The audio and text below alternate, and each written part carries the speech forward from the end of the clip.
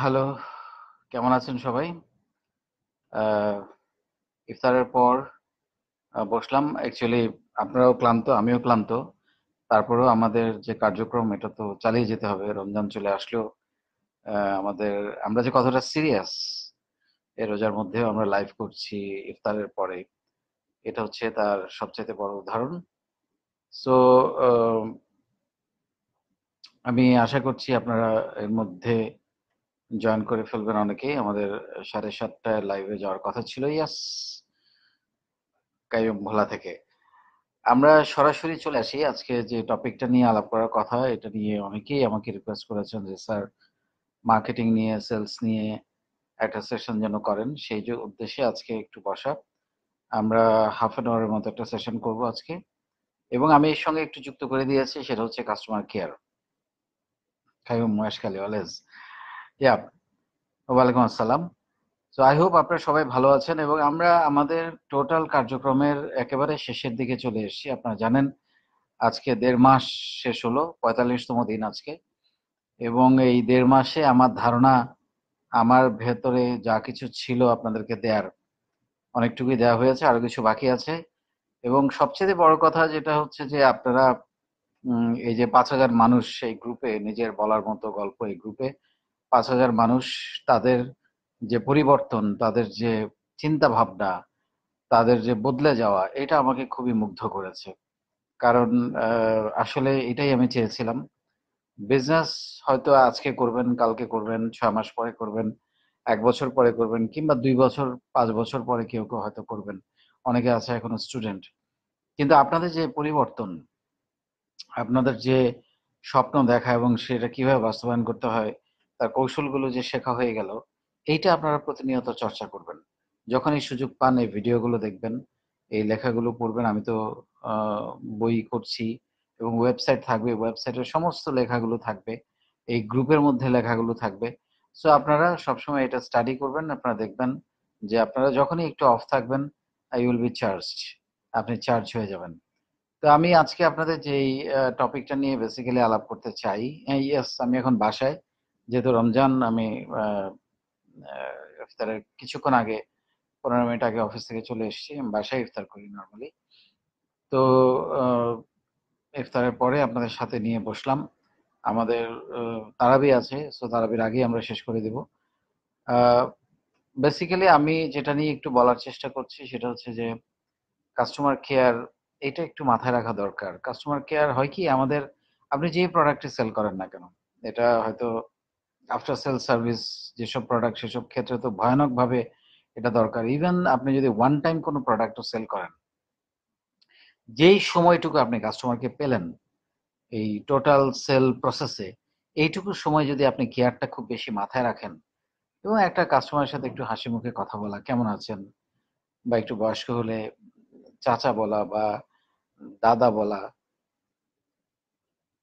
বা ভাই বলা বা বোন বলা বা আন্টি বলা, এই জিনিসগুলো খুব গুরুত্বপূর্ণ। কারণ হয় কি আপনি যখন একটা কাস্টমারের সাথে ওই প্রোডাক্টটা বিক্রি করতে, করতে আমি বলছি যে যেসব প্রোডাক্ট গুলোতে আফটার সেল সার্ভিস দরকার হয় না, ইনস্ট্যান্ট আপনি ওয়ান টাইম সেল করছেন, সেগুলোর ক্ষেত্রে যতটুকু সময় আপনি কাস্টমারকে পাবেন সেটা ফোনে হোক, ফিজিক্যালি হোক, সামনাসামনি হোক বা টেক্সটের মাধ্যমে হোক, আপনি যখনই পাবেন আপনি কাস্টমারকে সম্বোধন করবেন, কেমন আছেন বলবেন, ২ টা লাইন বেশি বলবেন, কোথায় থাকেন, ফ্যামিলির কি অবস্থা একটু খোঁজখবর নিলেন। তাতে হবে কি আপনার সঙ্গে একটা অতিরিক্ত একটা কথা বলেছেন এইটা কিন্তু সে মনে রাখবে। সবাই কিন্তু বলে না, "এই কত দাম? নেন এটা ঠিক আছে দিয়ে দিলাম।" কিন্তু আপনি যদি একটা হাসি মুখে সালাম দিয়ে কেমন আছেন জিজ্ঞেস করেন, বাসার সবাই ভালো তো? আপনার রুচিটা প্রকাশ পাবে। এবং আপনি আমি বলছি যে আপনি তো মালিক।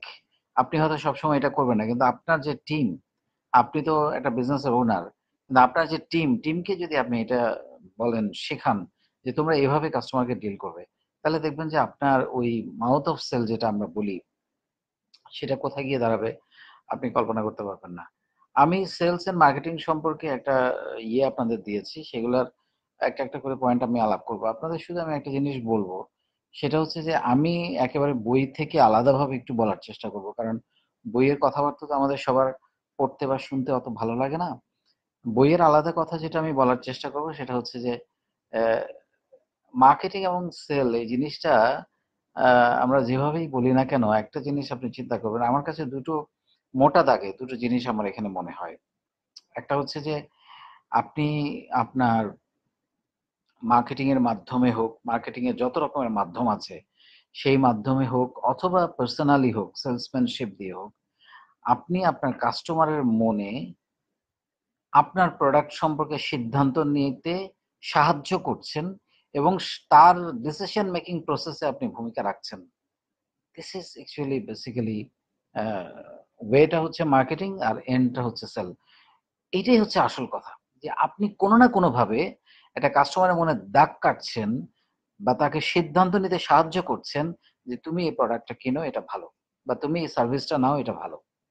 This is all about marketing and যে প্রসেসে আপনি এই কাজটা করবেন এটা হচ্ছে মার্কেটিং আর যে যেভাবে আপনি এটা ডিস্ট্রিবিউট করবেন বা পৌঁছায় দিবেন বা ওয়ান টু ওয়ান কথা বলে বিক্রয় করবেন দ্যাট ইজ সেলসম্যানশিপ তো এই জিনিসটা আপনাদের একটু মাথায় রাখতে হবে। আরেকটা মোটা মোটা দাগে জিনিস আমি আপনাদের মাথায় রাখতে বলব, সেটা হচ্ছে যে নেটওয়ার্কিং মানে ডেটাবেস আপনি এরকম ভাববার কোনো কারণ নাই যে আপনি একটা কাস্টমারকে আজকে অ্যাপ্রোচ করেছেন, আপনি সেল করতে পারেন নাই।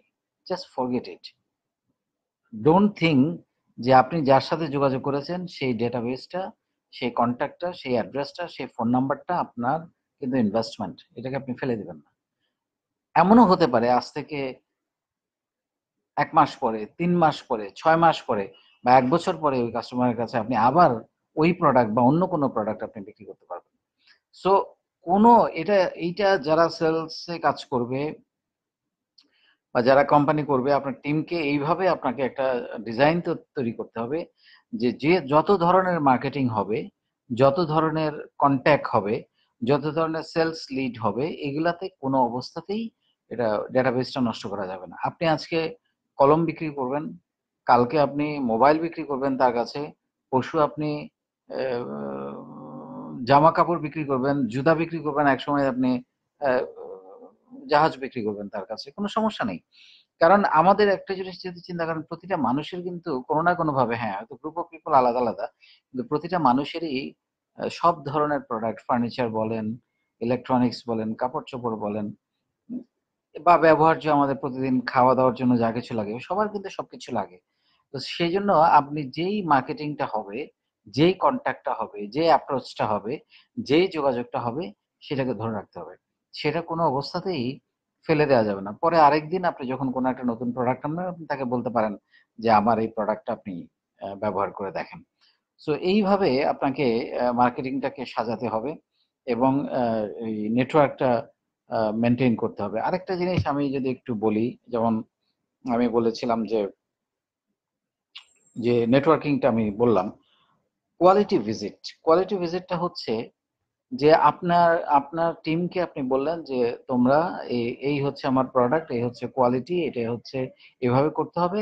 আপনি প্রোডাক্টের পুরো ফিচার্সটা বুঝিয়ে দিয়ে দিলেন। বা আপনি নিজেও করলেন কাজগুলো। আমি যেমন নিজেই অনেক সময় আমার কাছে খুব মজা লাগে সেল করতে। এবং আমার percentage is hundred a hundred এটা খুব ইন্টারেস্টিং আমি অ্যাপ্রোচ করেছি সেল হয়ে যাচ্ছে। So it is A confidence এটা একদিনের শিক্ষা না। এটা পনেরো ষোলো বছরের অভিজ্ঞতার কারণে হচ্ছে। কিন্তু যেটা হবে যে, যারা নতুন নতুন কাজ করতে যাবেন, তারা দেখবেন যে দিনের বেলা একদিন, সারাদিনে হয়তো আপনি পাঁচটা বা দশটা কমিউনিকেট করেছেন, আপনি একটাও পারেন নাই। কিন্তু সেটা রেখে দিতে হবে, যেটা বললাম। কিন্তু একটাও আপনি সেল করতে পারেন নাই। আপনি তখন কি করবেন? একটাই ফর্মুলা সেল করার। আপনি দশটা হয় নাই, আপনাকে সেটা বিশটা করতে হবে। আপনার বিশটা হয় নাই, আপনাকে চল্লিশটা করতে হবে। চল্লিশটা হয় নাই, আপনাকে একশোটা করতে হবে। মানে আপনাকে নাম্বার বাড়াতে হবে। হ্যাঁ এবং আমি আবার বলছি যে ওই যে নিরানব্বইটা, একশোটার মধ্যে যে নিরানব্বইটা হয় নাই, সেই নিরানব্বইটা কন্ট্যাক্ট কিন্তু আপনাকে রেখে দিতে হবে। মেবি যে একশো নম্বরে গিয়ে আপনি সেলটা ইয়ে হবেন। এটা আবার সামটাইমস একটু লাখও কাজ করে। কেউ আবার দেখবেন যে দশটা করে তিনটা সেল হয়ে যাচ্ছে বা পাঁচটা সেল হয়ে যাচ্ছে। আবার কেউ একশোটা করে একটা হচ্ছে। So it's matter of luck effort efficiency dedication seriousness আপনাকে কতটা ট্রাস্ট করে, আপনার কথা কতটা ট্রাস্ট করছে সেইটার উপরে বা আপনার মার্কেটিং কতটা স্ট্রং আপনার ব্র্যান্ড আপনি কতটা ব্র্যান্ডিং করতে পেরেছেন আপনার প্রোডাক্টের এগুলো সবকিছুর উপরে কিন্তু নির্ভর করবে সেলসটা কত দ্রুত হবে বা কত স্লো হবে। তো সেই ক্ষেত্রে আমি আপনাদের বলব যে এরকম হতাশ হওয়ার কোনো কারণ নাই যে আমি একটা বা দশটা বা আজকে ট্রাই করেছি, হয় নাই। আমরা এরকম অনেক বড় বড় কোম্পানি হাজার কোটি টাকা ইনভেস্টমেন্ট করেছে, তাদের বেলায় আমরা জানি যে এক মাস ধরে কোনো মানে প্রোডাক্ট লঞ্চ করার এক মাসে কোনো সেল পায় না। এরকম কোনো, এরকম ঘটনাও কিন্তু আছে। এরপরে যখন আসতে থাকতেছে, তখন দেয়াল ভেঙে ফেলতেছে। এরকম হয়েছে। সো আমরা এরকম অনেক উদাহরণ জানি। তারপরে আপনার মার্কেটিং এ যেসব টুলসগুলো আছে এখন, সেগুলো তো সবই আপনি ডিপেন্ড করবে প্রত্যেকটা প্রোডাক্টের মার্কেটিং এর ধরন এক এক রকম। কেউ হয়তো টেলিভিশনে বিজ্ঞাপন দিয়ে মার্কেটিং করে, কেউ লিফলেট দিয়ে করে, কেউ বিলবোর্ড দিয়ে করে, কেউ কারও বিজ্ঞাপনই লাগে না। যেমন আপনি দেখেন যে আমাদের কিছু বাংলা, সারা বাংলাদেশে আমি যে কেন আপনাদের বললাম যে চৌষট্টি জেলা, এটা নিয়ে আমার একটা প্ল্যান আছে আপনাদেরকে নিয়ে। আমরা একটা প্ল্যান করব এটা নিয়ে যে চৌষট্টি জেলার ব্র্যান্ডিংটা কীভাবে করা যায়। হয়তো এই গ্রুপ থেকে আমরা এটা একটা লঞ্চ করব, আপনাদের মাধ্যমেই করব। যে চৌষট্টি জেলার প্রোডাক্টগুলোকে যদি বিখ্যাত প্রোডাক্টগুলোকে আমরা এক জায়গায় আনতে পারি কিনা অনলাইনের মাধ্যমে। এটা নিয়ে আমার একটা প্ল্যান আছে, আপনাদেরকে সবাইকে সম্পৃক্ত করে অন্তত চৌষট্টি জেলা থেকে চৌষট্টি জন বা একশো আঠাশ জনকে সম্পৃক্ত করে এটা করা যায় কিনা আমি হয়তো থাকব না বাট মানে আমি হয়তো গাইড করব বাট এটা আপনাদের প্রজেক্ট হবে। সেরকম একটা কিছু করা যায় কিনা আমি চিন্তা করছি। আমার আজকে আমরা মিট করলাম আমাদের নিজের বলার মতো গল্পের যারা ওয়েবসাইটটা করছে, তাদের সঙ্গে আমার আজকে একটা মিটিং হয়েছে দুপুরবেলা। এবং দে আর ভেরি এফিসিয়েন্ট আমার কাছে মনে হলো তারা এই ধরনের কাজ তৈরি করে ফেলতে পারবে। ওয়েবসাইট ফেসবুক যা যা দরকার এগুলো করা যাবে। এবং আপনারা আপনারা এটা আপনাদের একটা স্ট্রেংথ যে আমাদের গ্রুপে অনেকেই আছে যারা খুব ভালো ওয়েবসাইট বানায়। আজকে আমার তিন, চার জনের সাথে পরিচয় হলো। একটা, আমি একটা টিম করে দিয়েছি তাদেরকে। তো আপনাদের কোনো ওয়েবসাইট বানাতে হলে বা আমি তাদেরকে বলব, যত নিম্ন কম খরচে জিনিসটা করা যায়, সেটা তারা করে দিবে বা ফেসবুক তৈরি করতে হলে তারা আপনাদেরকে হেল্প করতে পারবে। চারজন আমাদের গ্রুপেরই আমাদের এই গ্রুপেরই চারজন আজকে আমার অফিসে এসেছিল এবং তারা, আমার কাছে মনে হলো তারা খুব ভালো কাজ করে, তাদেরকে আমরা কাজ দিব ইনশাল্লাহ। একটা হচ্ছে যে ওয়েবসাইটের কথা তো আমি বললাম আপনাদেরকে ফেসবুক ওয়েবসাইট থাকতে হবে। আপনার আরেকটা জিনিস হচ্ছে যে কাস্টমার কেয়ারের ব্যাপারটাতে আমি আবার একটু আসি। মানে একটা হচ্ছে যে প্রাইসিং আপনি এরকম কোনো ভাববার কারণ নাই যে, আমি অনেক লাভ করে ফেলব। এটা কিন্তু এখন আর সম্ভব না। মানুষ কাস্টমার কিন্তু প্রাইস বোঝে। আর ওয়ান টাইম কোনো বিজনেস চিন্তা করাই উচিত না। যে আপনি, আমি আজকে লাভ করলাম, তারপরে ওই কাস্টমার আর আসলো না আমার কাছে। একটা জিনিস মনে রাখবেন রিপিট কাস্টমার খুব ইম্পর্টেন্ট আমি একটু বলছিলাম যে মার্কেটিং এর আর একটা ধরন, সেটা হচ্ছে মুখে মুখে যে মার্কেটিংটা হয়, যেটা বলি হচ্ছে আমরা ওয়ার্ড অফ মাউথ যে যেমন ধরেন আমাদের দেশে চৌষট্টি জেলার কথা যেটা বলছিলাম যে কুমিল্লার রসমালাই বা টাঙ্গালের শাড়ি বা দিনাজপুরের চাল বা টাঙ্গাইলের চমচম এরকম অনেক বিখ্যাত আপনারা লিস্ট করেছেন আমি দেখেছি। সেইগুলা কিন্তু আপনি দেখবেন তাদের তাদের কিন্তু কোনো মার্কেটিং নাই, তাই না? তারা মুখে মুখে ছড়িয়ে গেছে যে এটা খুব ভালো প্রোডাক্টটা সো এটাও কিন্তু খুব গুরুত্বপূর্ণ যে আপনার প্রোডাক্টটাকে মুখে মুখে ছড়িয়ে দেয়া। আপনি সেটা যেটাই করেন না কেন। এবং সেই জন্য আপনার যেটা দরকার সেটা হচ্ছে রেফারেন্স মানে রিপিট সেল দরকার। রিপিট সেল আপনার যত বাড়বে মানে একই কাস্টমার আপনার বারে বারে প্রোডাক্ট কিনছে বা অন্য প্রোডাক্ট কিনছে, আপনার তো প্রোডাক্টের বৈচিত্র্য থাকবে। তখন দেখবেন যে সে একটা অভ্যস্ততা তৈরি হবে এবং সে সবাইকে বলবে তখন আপনার প্রোডাক্ট সম্পর্কে। তখন আপনার কাস্টমার কিন্তু বেড়ে যাবে। আর একটা জিনিস আমি আপনাদের বলি যে, সেই দিন এখন আর নাই যে কাস্টমারকে ঠকিয়ে কাস্টমারের সাথে দুর্ব্যবহার করে বা কাস্টমারকে ডিপ্রাইভ করে বা কাস্টমারকে অপমান করে আপনি ব্যবসায় টিকে থাকতে পারবেন। এটা এখন অসম্ভব। এটা হয়তো যেমন কেউ কেউ করছে ফরমালিন দিয়ে প্রোডাক্ট বিক্রি করছে মাছ বিক্রি করছে, আম বিক্রি করছে, কেউ হয়তো ভেজাল পণ্য দিয়ে মিষ্টি তৈরি করছে বা কেউ হয়তো নিম্নমানের কাপড় দিয়ে অনলাইনে সেল করছে ইটস রং এটা টিকবে না আই টেল ইউ ছয় মাস, এক বছর টিকবে, তারপর হারিয়ে যাবে। আপনি যদি চিন্তা করেন দশ বছর, পনেরো বছর, বিশ বছর পঁচিশ বছর আমি ব্যবসা করব তাহলে আপনাকে কোয়ালিটি দিতে হবে এবং কাস্টমারদেরকে কেয়ার করতে হবে। এবং এটাও কিন্তু কোয়ালিটি প্রোডাক্ট কাস্টমার কেয়ারের একটা অংশ। আপনি আপনার বিজনেস ব্র্যান্ডিং এর একটা অংশ। কারণ হচ্ছে যে কাস্টমারের এবং অনেক রকমের এখন কাস্টমার কেয়ারিং হয়। বিভিন্ন দিবসে তাদেরকে উইশ করা হয়।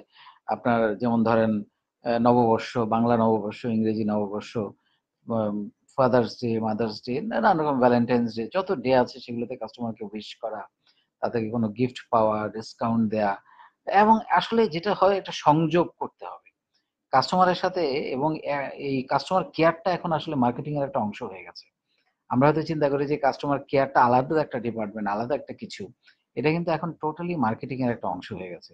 সো আপনাকে আপনাকে মানে টোটাল জিনিসটা আমি যেটা বললাম যে আফটার সেল সার্ভিস যে ধরনের product after sale service like online কিন্তু আফটার সেল সার্ভিস অনলাইনে যদি আপনি কোনো ব্যবসা করেন, সেটা হয়তো খারাপ করতে পারে, নষ্ট হতে পারে, তখন কিন্তু আপনাকে আফটার সেলস দিতে হবে। আবার আমরা যে ধরনের ব্যবসা করি, যেমন ইন্টারনেট একটা কাস্টমার আছে তো তার সাথে আর দশ বছর, পনেরো বছর ধরে সম্পর্ক। আমাদের আফটার সেলস এর সুযোগ অনেক বেশি। তারপরে আপনি ধরেন একটা সে কথা কথা আম বিক্রি করবেন বা চাল বিক্রি করবেন। আপনি যে প্রোডাক্টটা দিলেন, সে রান্না করল, খেয়ে ফেলল, শেষ। কিন্তু প্রোডাক্টটা বিক্রি করার যে সময়টুকু আপনি পাবেন, দুই মিনিট, তিন মিনিট ইভেন এক মিনিট, এই এক মিনিটও কিন্তু আপনি কাস্টমার কেয়ারটা কাস্টমার সার্ভিসটা দিতে পারেন। তাকে মুগ্ধ করতে পারেন। আপনার অফিসের এনভায়রনমেন্ট দিয়ে, আপনার আচরণ দিয়ে, আপনার কথাবার্তা দিয়ে, আপনার ব্যবহার দিয়ে আপনি কিন্তু তাকে মুগ্ধ করতে পারেন। সো এই জিনিসগুলো আপনারা যদি মাথায় রাখেন, আমার মনে হয় বিজনেসে খুব বেশি চিন্তা করার কোনো কারণ নেই। যেটা বললাম যে অফিস এনভায়রনমেন্টটা খুবই গুরুত্বপূর্ণ। কারণ হচ্ছে যে আমরা সুন্দর জায়গায়, সুন্দর পরিবেশে একটু বেশি সময় থাকতে পছন্দ করি, তাই না? তো সেই জন্য অফিসে হোক না, ছোট অফিস হয়তো এসি নাই বা অত ইয়ে নাই, কিন্তু একটু সাজিয়ে গুছিয়ে রাখা, পরিচ্ছন্ন রাখা, নোংরা ধুলাবালি যাতে না থাকে, কোনো বাজে স্মেল না আসে, এগুলো কিন্তু কাস্টমার দেখে, খেয়াল করে। কোনো এক জায়গায় ঢুকলে আপনি দেখবেন একটা সবসময় কাস্টমাররা চিন্তা করে একটা ক্লোজ ডোর ইয়েতে যদি ঢোকা যায়, তাহলে নিশ্চয়ই সেখানে ধুলাবালি হবে না। সবাই আজকাল একটু কমফোর্ট চিন্তা করে। সো এই জিনিসগুলো আপনাকে মাথায় রাখতে হবে। এবং আমি যেটা বলি আর কি, সেটা হচ্ছে যে প্রত্যেকটা মানুষের মধ্যে, সে একটা বিজনেস অন্টারপ্রেনার হোক, বা বিজনেসের মালিক হোক আর যাই হোক, তার মধ্যে একটা সেলসম্যানশিপ থাকতে হবে। কারণ দেখবেন যে এটা ডাউন দ্য লেভেল এটা ছড়িয়ে যাবে যে, আরে স্যার তো এভাবে চিন্তা করে। বা আমার মালিক তো আমার কোম্পানির ওনার তো এভাবে চিন্তা করে যে কাস্টমারকে খুব দরদ দিয়ে কথা বলতে হবে প্রোডাক্টটা ভালো দিতে হবে। আপনি দেখবেন এগুলো কিন্তু সব উপর থেকে আসে। এই যে আমরা হয়তো বলি যে, আমার অফিসের যারা কাজ করে তারা হয়তো কোনো প্রবলেম করে ফেলেছে দিস ইজ রং আপনি যদি ওইভাবে চিন্তা করেন যে, আপনার এখানে কোনো উল্টাপাল্টা হওয়ার সুযোগ নাই প্রোডাক্টে কোয়ালিটি কম্প্রোমাইজ করার কোনো সুযোগ নেই, পচা জিনিস দিবেন না, আপনি ধরেন একটা রেস্টুরেন্ট করছেন আপনি যেগুলো বিক্রি হবে না আপনি প্রয়োজনে এটা একটা মার্কেটিং অংশ হতে পারে। আপনাদেরকে আমি টিপস দিচ্ছি, লিখে নেন। সেটা হচ্ছে যে আপনার আজকে যে প্রোডাক্টটা বেঁচে গেছে, যে খাবারটা আপনি তৈরি করছেন বেঁচে গেছে, সেই খাবারটা আপনি নিয়ে যারা অসহায় মানুষ যারা পথশিশু, যারা বৃদ্ধাশ্রমে থাকে, যারা ছিন্নমূল, তাদেরকে নিয়ে আপনি এই খাবারটা ডিস্ট্রিবিউট করেন ভিডিও করেন, করে আপনি এটা আপনার ফেসবুক পেজে বা আপনার ওয়েবসাইটে বা আপনি প্রচার করেন যে আমরা এরকম করি, আমাদের খাবার আমরা নষ্ট যেগুলো বেঁচে যায় সেগুলো আমরা এইভাবে দিয়ে দিই। আপনি দেখেন যে আপনার প্রতি বিশ্বাস, আপনার আপনার আপনার কাস্টমার মানে আপনি জায়গা দিতে পারবেন না আপনার ইয়েতে রেস্টুরেন্টে সো এগুলো কিন্তু অনেক কিছু করা যায়। তারপরে হচ্ছে যে আজকে যে তেলটা দিয়ে আপনার ভাজা পোড়া করা হলো রমজানে যেটা বেশি হয়, সে তেলটা ফেলে দেয়া, সেটা দিয়ে কালকে আবার না করা। সো এরকম অনেক কিছু। আপনার চিন্তা করতে হবে হ্যাঁ আপনি একটু কম লাভ করলেন। কিন্তু লম্বা সময় ধরে আপনি লাভ করেন। এটা খুব ইম্পর্টেন্ট মাথায় রাখা। আর হলে কাস্টমার ধরে রাখা। আপনি দেখবেন কিছু কিছু দোকান আছে, কিছু কিছু জায়গা আছে, সেখানে সবাই কিন্তু যেতে চায়। তাই না? এবং আপনি অনেককে দেখবেন, আমরা যেমন অনেক সময় শর্ট দিয়ে চা খেতে অনেক দূরে চলে যাই। এরকম তো হয়। তো সেই জন্য আপনারা এই জিনিসগুলো মাথায় রেখে যদি কাজ করতে পারেন, আমার ধারণা আপনাদেরকে কেউ ঠেকিয়ে রাখতে পারবে না। সো আমি আই উইশ আমি আপনাদের কমেন্টগুলো পড়ব। আমাদের আজকের সময় কম অলরেডি আটটা বেজে যাচ্ছে প্রায়। আপনারা এই জিনিসগুলো মেনে চলেন প্র্যাকটিস করেন। আমি যা বললাম বারবার দেখেন এবং ভিডিওটা আপনি শেয়ার করে দিতে পারেন। তাতে করে আপনার যারা বন্ধু বান্ধব আছে বা আমাদের যারা বা সারা বাংলাদেশের তরুণরা আছে, আমরা এই কাজটা যদিও এখন পাঁচ হাজার জনের জন্য করছি, আপনারা অনেকেই বলছেন এটা একদিন পঞ্চাশ হাজার, পাঁচ লাখ হবে। সবাই দেখুক, সবাই শিখুক। কারণ হচ্ছে যে আমি যা জানি, আমি সব ঢেলে দিতে চাই, বিতরণ করতে চাই। সবাই জানুক, কাজে লাগুক, সবাই ভালো থাকুক, সবাই উন্নতি করুক। সারা দেশের মধ্যে দেখবেন যে হাহাকার, কষ্ট, দুঃখ, অশান্তি কমে যাবে। আর বেকার থাকলে মানুষের প্রবলেম বেশি হয়। চিন্তাই থাকবে না। মানুষকে যদি ব্যস্ত রাখা যায়, সে অপরাধ করার সময় কোথায় পাবে? তাই না? তো অপ এটার কোনো প্রয়োজন নেই। আরেকটা জিনিস বলি শেষে, সেটা হচ্ছে সবসময় সত্য কথা বলবেন। এবং সত্য কথা সবচেয়ে বড় শক্তি হচ্ছে সত্য কথা মনে রাখা লাগে না। মিথ্যা কথা কিন্তু মনে রাখা লাগে। কারণ আপনাকে যে গুছিয়ে যে মিথ্যাটা বললেন, সেটা পরের বার যখন আবার বলবেন তখন মনে রাখতে পারছে আমি তখন তো বোধহয় এটা বলেছিলাম। তো সত্যটা আপনাকে মনে রাখা লাগে না, এটা আপনার হৃদয় থেকে আসে। এটা সবসময় মনে রাখবেন, আর আপনাদের সবাই অলরেডি ভালো মানুষ সো বলতেই হবে। আপনি দেখবেন বকা খাবেন, আপনার হয়তো মনে হচ্ছে আপনি বকা খাবেন বা বিপদে পড়ে যাবেন বা একটা সমস্যায় পড়ে যাবেন, সত্য টুইট করেন, কিন্তু প্রথমবারই শেষ হয়ে যাবে। কিন্তু একটা মিথ্যা আপনাকে দশটা মিথ্যা, দশটা তিরিশটা মিথ্যা তৈরি করবে, সেটা সংসার জীবনে হোক, সেটা বিজনেসে হোক, সেটা কাস্টমারের সাথে হোক টেল দ্য ট্রুথ আমার অফিসে অনেক সময় আমাদের কানেক্টিভিটিতে প্রবলেম হয়ে যায়। লিঙ্ক কেটে যাচ্ছে, হয়তো কোথাও ডিসকানেক্ট হয়ে গেছে ফাইবার কাটা গেছে। আমি আমার সবাইকে টিমকে বলি যে you tell the truth to the customer একদম নিজেকে খুলে দে কোনো উল্টা পাল্টা হ্যাঁ ইয়ে ইয়ে দেওয়ার দরকার নেই হোপ দেওয়ার দরকার নেই। একদম টেল দ্য ট্রুথ কাস্টমার পছন্দ করবে। সো আই হোপ যে, আপনারা যে গল্পের স্বপ্ন দেখছেন, সেই গল্প এখন বাস্তবায়নের পথে আমরা অনেক দূর এগিয়ে গেছি। আর পনেরোটা ক্লাস আছে আমাদের। পনেরো পনেরো দিন আছে। পনেরো দিনে হয়তো আর অনেকগুলো ক্লাস হবে এবং আমাদের আরও কিছু টপিক এখনও বাকি আছে। আমরা একেবারে এখন প্র্যাকটিক্যাল ফিল্ডে চলে এসেছি। আর ষাট দিন শেষ হওয়ার পরে আমরা কিছু অন্য ধরনের সেশন করব। একেবারে প্রায় ইভেন আগামীকাল একটা আমাদের গ্রুপের একটা ব্যাচ কালকে আমরা অফিসে আসছে তাদের কোম্পানি উদ্বোধন করতে। তাদের জন্য শুভকামনা থাকল। এবং এইভাবে আমি আপনাদের বলছি, আপনারা যারাই নতুন নতুন ব্যবসা শুরু করবেন, আমি সেখানে হাজির থাকব, আপনাদেরকে প্রমোট করব। সেটাই গ্রুপে আমি প্রচার করব লাইভ করব, ছবি দেবো, যেভাবে পারি আমি প্রচার করব। আজকে যারা আমার অফিসে এসছে, আমি বলছি, তোমরা আমাদের ওয়েবসাইটটা ভালোভাবে বানাও, যাতে করে তোমাদের ভবিষ্যতে কোম্পানির মার্কেটিং অনেক সুবিধা হয়, যাতে ওয়েবসাইটটা দেখে লোকজন বলতে পারে, আর, এটা কে বানিয়েছে? এই প্রশ্নটা যখন তার মধ্যে ঢুকবে, তখন কিন্তু তোমাকে খুঁজবে সে। কাজ পেতে কোনো সমস্যা হবে না। সো মার্কেটিং আমরা শিখছি মার্কেটিং করব। এবং মার্কেটিংটার সাথে কেয়ারিংটা যদি আপনি অ্যাড করতে পারেন মার্কেটিং অনেক সহজ হয়ে যাবে। I wish you all the best সবার জীবনের বলার মতো একটা গল্প শোনার অপেক্ষা থাকলাম। All the best take care আল্লাহ হাফেজ।